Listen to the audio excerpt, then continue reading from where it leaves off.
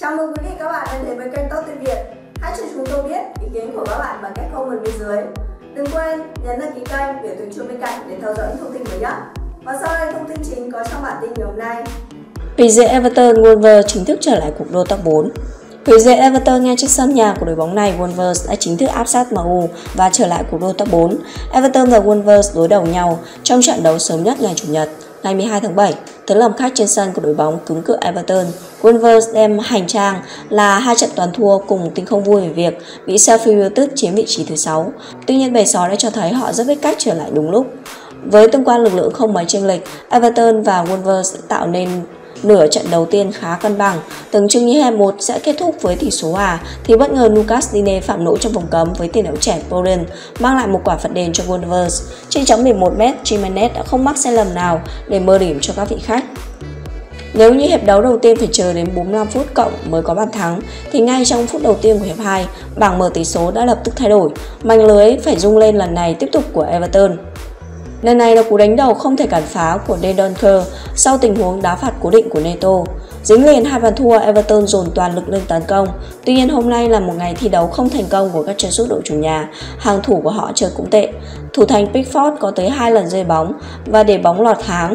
Dù chưa phải trả giá nhưng điều này cũng cho thấy Everton có nhiều vấn đề ở trận đấu này. Phút thứ 75, Tiền đạo vào thay người là Diego Jota giữ điểm tung lưới Pickford một lần nữa. Bàn thắng của Jota cũng là bàn thắng cuối cùng của trận đấu này. Vì giờ Everton 3-0, Wolves đã chính thức đòi lại vị trí thứ 6 từ tay Sheffield, đồng thời áp sát MU với 3 điểm kém hơn.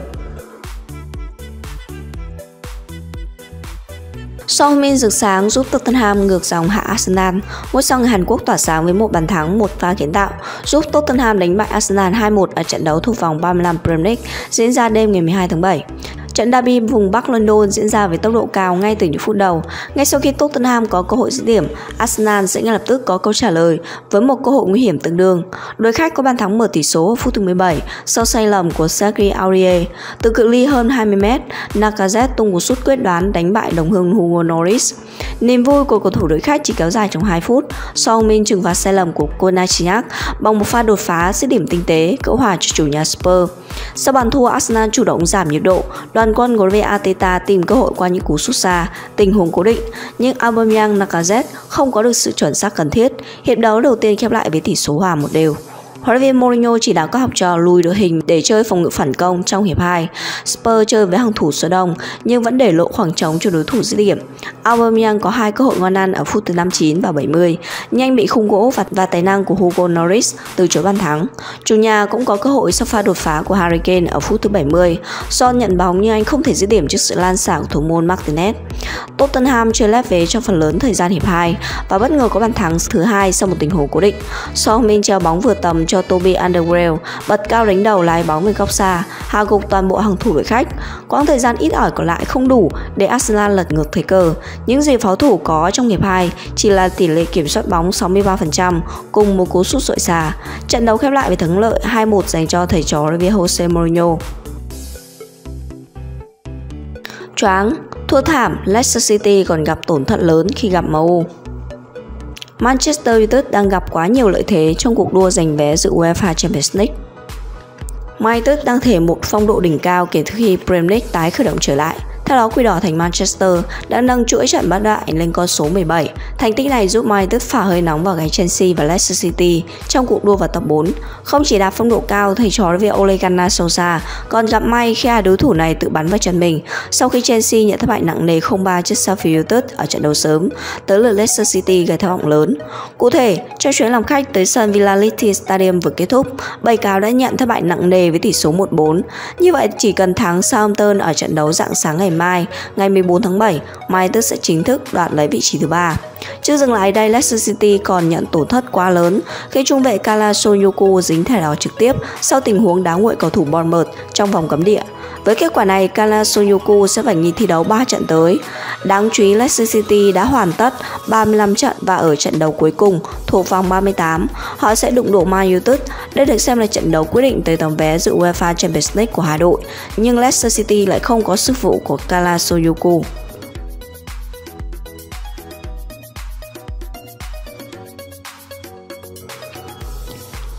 Đứng trước cơ hội vàng sâu xa cảnh báo cầu thủ MU, huấn luyện viên Ole Gunnar Solskjaer đã lên tiếng yêu cầu các cầu thủ Mai-tức giữ đôi chân trên mặt đất sau chút trận ấn tượng vừa qua. Sau khởi đầu bết bát ở mùa giải này, MU đã bùng nổ trong giai đoạn 2, đặc biệt khi có Bruno Fernandes vào cuối tháng 1. Tính đến nay, Quỷ Đỏ đã có 17 trận bất bại liên tiếp trên một đấu trường, thắng 13 trận trong đó. Tính riêng ở Premier League, MU cũng gây ấn tượng mạnh khi lập kỷ lục thắng 4 trận liên tiếp với cách biệt 3 bàn. Với việc Chelsea thua sốc Sheffield United, MU có cơ hội tuyệt vời để lọt vào trong top 4 khi được tiếp đón Southampton ở trận đấu muộn vòng 35. Tuy nhiên, huấn luyện viên Solskjaer đã lên tiếng cảnh báo các học trò giữ đôi chân trên mặt đất. Ông cho rằng họ không thể tin bất cứ lời khen ngợi nào ở thời điểm quan trọng này.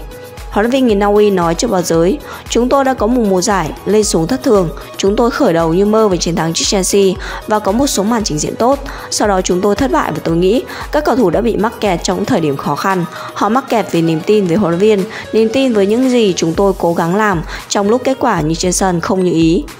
Chúng tôi chỉ cố gắng tiếp tục kế hoạch đề ra và bây giờ các kết quả tốt đã đến, sự phấn khích đã đến. Bây giờ là lúc chúng tôi phải giữ đôi chân trên mặt đất, tiếp tục tập luyện chăm chỉ và hiệu quả. Đừng tin vào những lời ca ngợi tận mây xanh hay đơn giản là khen ngợi chung chung. Đó không phải là công việc của các cầu thủ. Việc của họ là trình diễn trên sân. Và ngược lại họ cũng không nên nghĩ ngợi quá nhiều vì những lời chỉ trích mỗi khi chơi không tốt.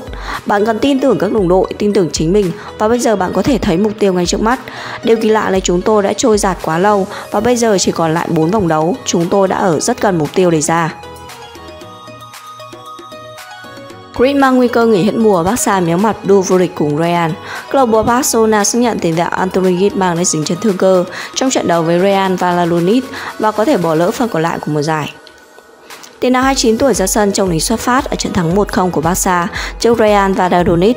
Tuy nhiên anh đã phải rời sân sau hiệp 1 do chấn thương và huấn luyện viên Kike Setien buộc phải tung Luis Suarez vào thay thế. Huấn luyện viên Setien xác nhận sau trận đấu rằng Griezmann đã yêu cầu được ra sân vì anh cảm thấy hơi khó chịu sau hiệp thi đấu đầu tiên. Sau trận, cầu thủ người Pháp đã đi kiểm tra và các chuẩn đoán ban đầu cho thấy anh bị chấn thương cơ và khả năng phải nghỉ dài hạn. Các cuộc kiểm tra sáng nay đã cho thấy Anthony Griezmann gặp chấn thương cơ ở chân phải, do đó anh ấy không thể ra sân ở thời điểm hiện tại và có thể phải nghỉ thi đấu tới hết mùa, một tuyên bố trên trang web của Barca cho biết.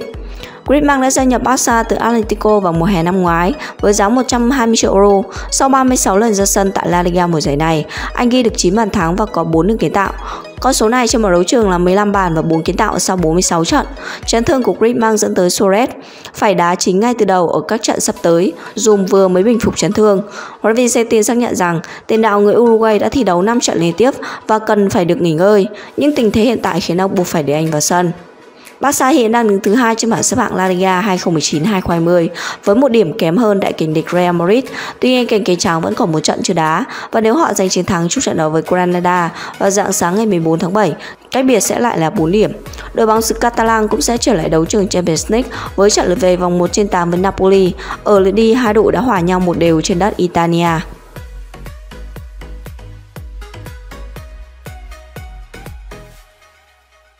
Conte mơ tái hợp Kante ở Inter. Theo Gazzetta dello Sport, huấn luyện viên Antonio Conte muốn đưa Angelo Kante về Inter Milan khi tiền vệ người không còn là bất khả xâm phạm của Chelsea.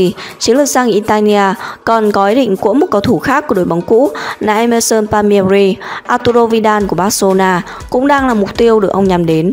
Hamed không còn giữ được kiên nhẫn. Với vỏn vẹn 8 lần ra sân ở La Liga mùa giải này, Hamed Rodriguez đã xác định trên tay Real Madrid khi thị trường chuyển nhượng hè mở cửa, theo EA Sport. Tiền vệ người Colombia từng tiến đến rất gần Atletico Madrid cách đây một năm và hiện được cho là mục tiêu của AC Milan cũng như Napoli. Chelsea cần Champions League để có Havertz. Sportbill khẳng định, Kai Havertz nhất quyết rời Bayer Leverkusen ngay hè này, bởi đội bóng Đức không được giữ Champions League 2020-2021. Do vậy, nếu muốn thuyết phục tiền vệ 21 tuổi về Stamford The Blues trước hết phải đáp ứng được điều kiện cần là góp mặt tại đấu trường danh giá nhất cho mùa tới. Man City có thể gia hạn với Aguero. Mirror cho biết Man City đang suy nghĩ đến việc gia hạn với Sergio Aguero thêm một năm, thay cho hợp đồng hiện tại sẽ hết hiệu lực vào cuối tháng 6 2022. Tiền đạo 32 tuổi được cho là đã chuẩn bị cho viễn cảnh hồi hương qua áo câu lạc bộ Independent sau khi kết thúc giao kèo với đội chủ sân Etihad.